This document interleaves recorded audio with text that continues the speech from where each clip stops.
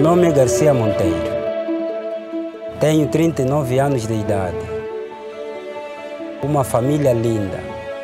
E sou enfermeiro ativista do INEM, Instituto Nacional de Emergência Médica de Angola.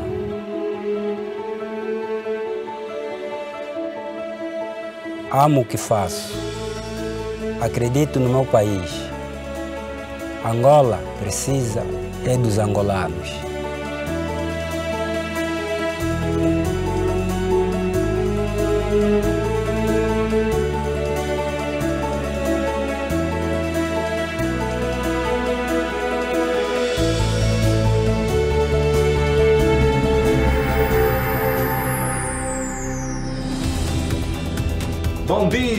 Trânsito razoável. 11 de novembro em direção a Ponte Viana. Trânsito faz bem do Mundial em direção a Benfica. Sou Zinanda, aquele abraço e obrigado, guerreiro da minha banda. Um abraço para o Mano Garcia do Inema. Esbaza, mano. Vamos embora. Trabalhar para fazer esta nossa querida Angola crescer. Simbora!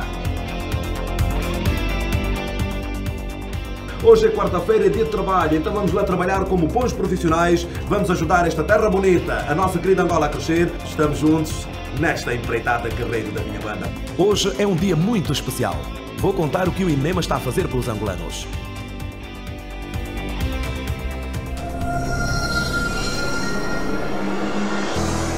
O Instituto Nacional de Emergência Médica está a transformar a saúde em Angola. O serviço foi criado para salvar vidas e já está a cumprir a sua missão. O INEMA oferece assistência pré-hospitalar de urgência e emergência. Socorre vítimas de acidentes, doenças com risco de morte e ajuda Angola a avançar no plano nacional sanitário com eficiência e mais segurança para a população. O governo pensou e muito bem os doentes saíam de casa transportados a pé, nos carros próprios. Hoje em dia já se transporta o doente eh, de, casa para o hospital, numa ambulância. O nosso papel é este, é de resgate. Antes que o problema se complique, vamos lá para garantir que a pessoa chegue para o hospital e consiga ser assistido com o tempo razoável de sobrevivência. Temos dois tipos de ambulâncias, as mais simples e temos as do suporte avançado de vida. Estas devem ter um médico, além da equipe de enfermeiros, a fazer a ressuscitação, com todo o medicamento de emergência. Às vezes a gente sai de uma atividade esportiva, por exemplo, no estádio, e ao irmos para a nossa base, depararmos com um acidente. Implementarmos as técnicas dentro do que nós aprendemos logo aí no, que é acidente. E sobretudo quando a gente leva a vítima com vida não é, até a unidade hospitalar. É muito gratificante. Aqui sim, a saúde é um componente muito importante para a felicidade. O INEMA reúne médicos, enfermeiros e técnicos de emergência, centenas de profissionais da saúde. São milhares de atendimentos em residências, locais de trabalho, eventos, onde o paciente estiver. Porque para o INEMA, o mais importante é salvar a vida de um angolano. Alô, bom dia. Serviço de emergências médicas. Alô, estamos a vir já, já? O trabalho do médico no dia a dia do INEMA não é fácil.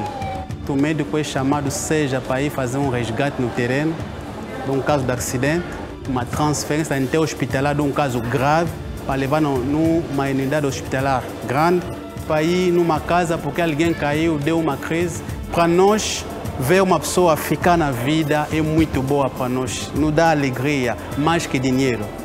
Ajudar alguém para voltar na vida, para ficar na vida, é muito importante para nós.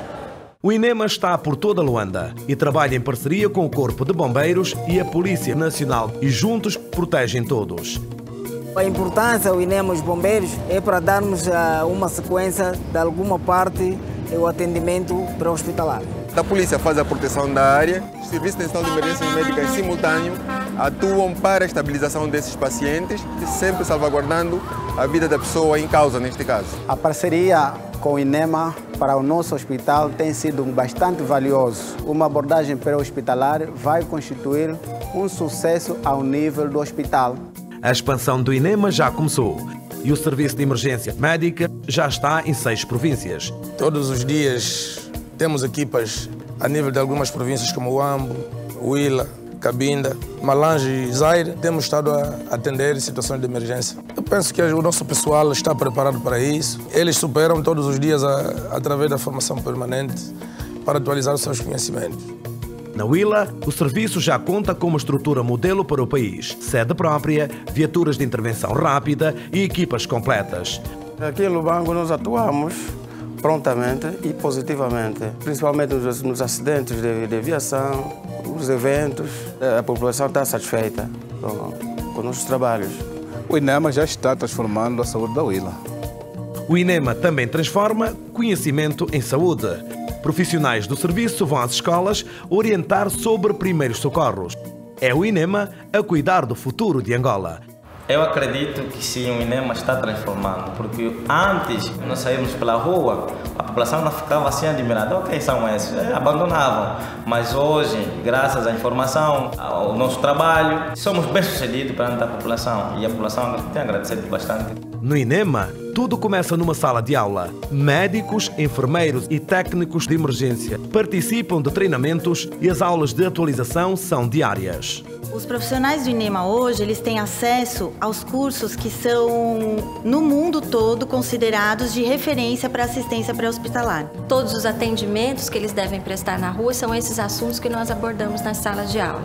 Eu me sinto parte de uma equipe que transforma a saúde de Angola, principalmente quando a gente recebe o retorno deles, que eles conseguiram fazer por, por alguém algo que a gente comentou e ensinou na sala de aula.